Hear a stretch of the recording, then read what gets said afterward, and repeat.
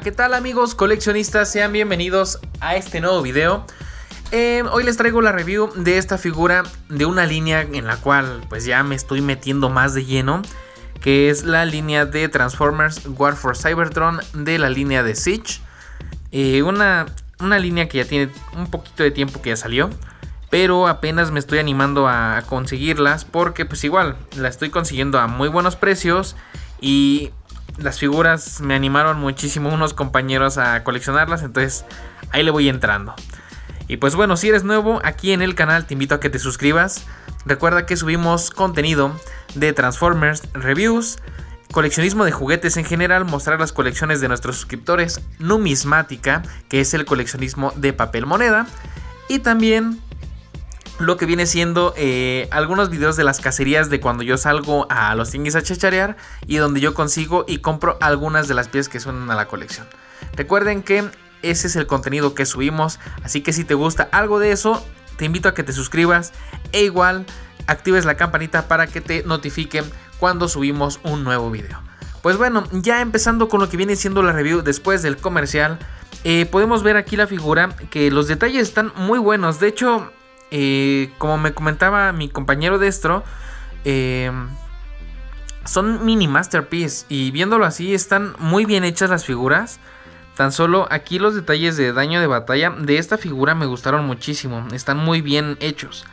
Siento que le hicieron falta en estas partes, pero eh, no descontrasta. Entonces, también en exceso es malo, pero estas se ven bien. Aquí también tiene un poquito de daño de batalla. Y sería todo en, general. Eh, Sideswipe está muy bien eh, la figura. Aquí lo que son los detalles de cromo en las llantas me gustaron muchísimo. Porque recordemos que las líneas pasadas de Combiner Wars y todas esas, ya las llantas vienen en negro. Entonces ya uno, si tiene la paciencia, le da el delineado en cromo. Que yo es lo que yo le hice a todas mis figuras, les hice el, el pequeño custom. En la parte de atrás se ve muy simple. Pero de entre lo simple se ve bastante bien es lo que me está gustando de estas líneas, en específicamente de Siege y de Airrise, que las figuras son simples pero bonitas, o sea, es eso que nos entregaban antes, ¿no? Que como tipo G1, que, que, son simples las figuras, pero el nivel de diversión en cuanto a la transformación, a pesar de que también es muy sencilla, es divertida y eso es algo que le suma muchos puntos de jugabilidad a una figura. En este caso, pues Transformers, ¿no? Que es transformar y todo. Eh, en lo que viene siendo el arma que tenemos aquí de Sideswipe, eh, tiene igual diferentes gimmicks, por decir, podemos separarla y ponerle, pues no sé, lo que viene siendo su misil, se lo podemos poner en, en, en la otra mano, se ve bien, y es como si tuviera dos armas, o igual lo, lo que viene siendo como normalmente yo lo recuerdo de G1, acá sí, y lo ponemos de esta, pequeña pestañita es como plana, no es circular como la de acá, que esta por decir la podemos meter en esta parte de, este, de esta forma. Que aquí también entran los Battle Masters, me parece. De esos no tengo ninguno si no les enseñaba. Acá también tenemos otra entrada para Battle Masters y aquí. No tengo ninguna de piezas si no les enseñaba. Y pues bueno, recuerden que les mencioné que era plana. Pues miren, aquí esa pequeña pestañita entraría aquí. Y lo tendríamos así con su característico eh, lanzamisiles de aquí. De la parte del hombro. Ahora, eh, una comparativa rápida con el de la línea que más me encanta, que es de eh, War for Cybertron del videojuego. Aquí sería una comparativa. La tenemos. Las dos figuras son buenas. Me gustan las dos, están buenardas. Y esta sí tiene más el detalle cybertroniano en, detalles. Esta ahorita van a ver la transformada y van a decir, ¿qué onda? Eso ya es un, vehículo de aquí terrestre. Pero pues están buenas las dos. En cuanto a calidad de tamaño, están casi del mismo tamaño. Pero no estamos en comparativas de eso. Estamos hablando de esta figura. Pues bueno, para la transformación es muy sencillo. Vamos a separar lo que viene siendo eh, su arma. Vamos a levantar esta parte de aquí vamos a empujarla hasta que quede cerrada totalmente. Ahora vamos a bajar lo que viene siendo eh, lo que era su ingle, parte del taparrabos. Vamos a bajarla hacia acá para ocultar lo que viene siendo la cara. Queda bastante camuflajeada. Ahora vamos a empezar a separar lo que son estas pestañas. Se van a abrir de esta forma. Hasta arriba. Y aquí algo, un detalle que me hubiera gustado que me hubiera hecho Hasbro. Una pequeña pestaña para que cerrara aquí. Porque nos queda este hueco y eso pues no está tan padre.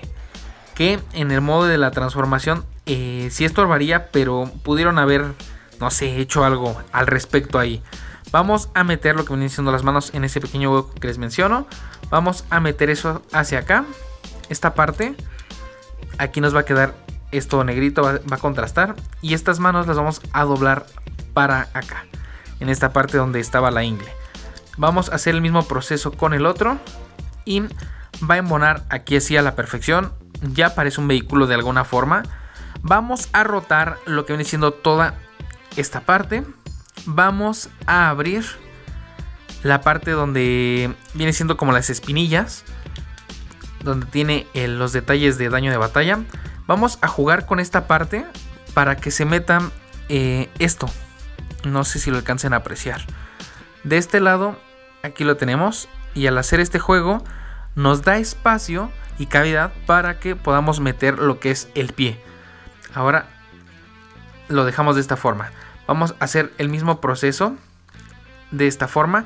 Yo algo que descubrí, no sé si sea la mía nada más, pero se me hace más fácil a la hora de, en lugar de estar jugando, nada más es darle un pequeño empujoncito así. Y listo. Ya lo tenemos. Ahora, vamos a unir estas dos partes. Aquí tenemos esta pequeña pestañita que va a entrar en esta pequeña ranura. La hacemos entrar de esta forma. Y vamos a rotar todo este armatoste hacia acá. Con cuidado. De esta forma. Y vamos a hacer que embone. Aquí embona como que una pestañita interna. Vamos a cerrar estas partes. Listo. Y bajar igual lo que viene siendo parte de la puerta. Y aquí tenemos este vehículo que en lo personal no parece nada cybertroniano a excepción por esos pequeños detalles que se alcanzan aquí a apreciar en el parabrisas. Creo que sería lo único cybertroniano que, tendría, pero de ahí en fuera yo no le veo nada en serio. Es como mm, una especie de... Yo no conozco mucho de carros, a pesar de que me dedico a repararlos. No soy muy amante de... Pero me, me recuerda a un carrito que me regaló mi mamá, que era un Ferrari.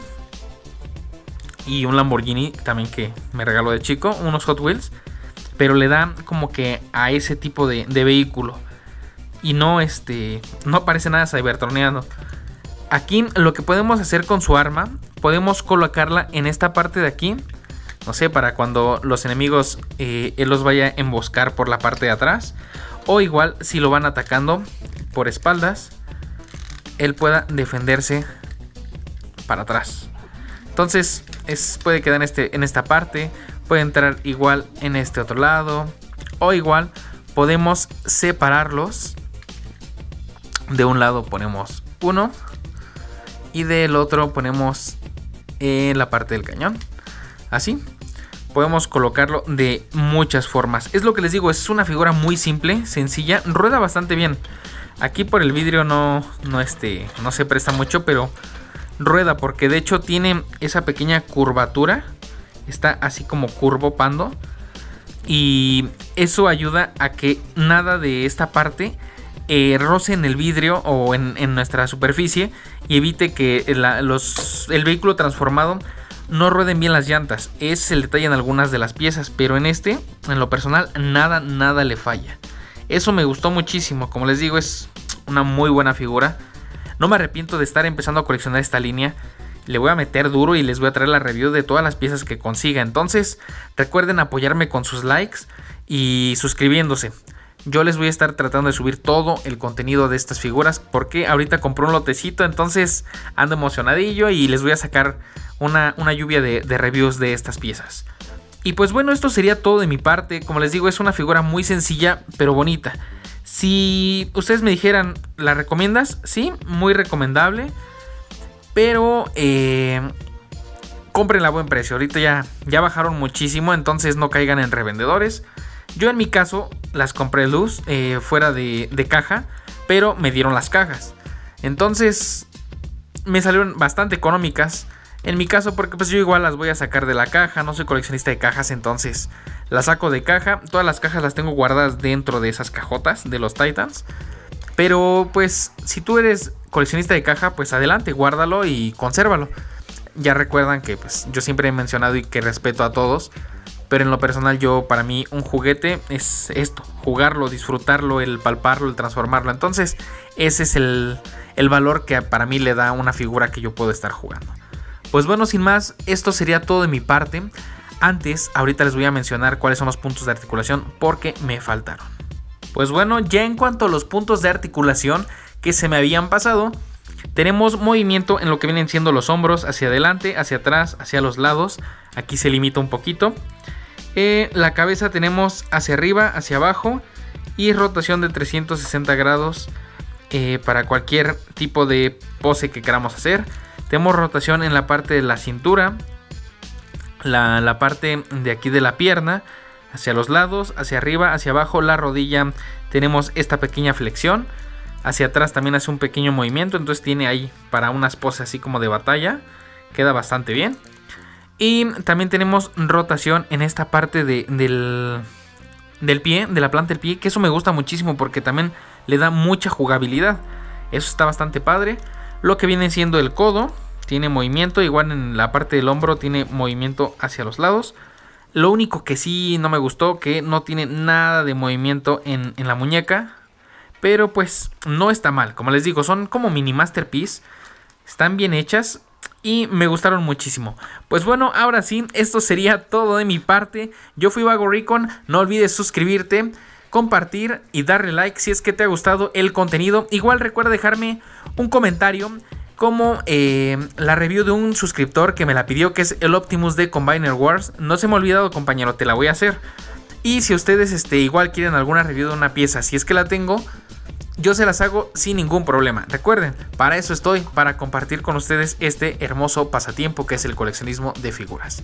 Y en este caso de Transformers. Pues bueno, sin más, ahora sí me despido. Nos vemos en un próximo video. Hasta la próxima.